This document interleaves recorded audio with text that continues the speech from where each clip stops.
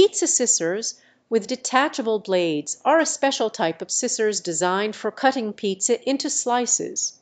They have a flat bottom blade to slide under the pizza and a circular upper blade that rolls over the pizza to cut it. The detachable blades make them easy to clean and maintain. Using pizza scissors with detachable blades can make cutting pizzas much easier and quicker than using a traditional pizza cutter.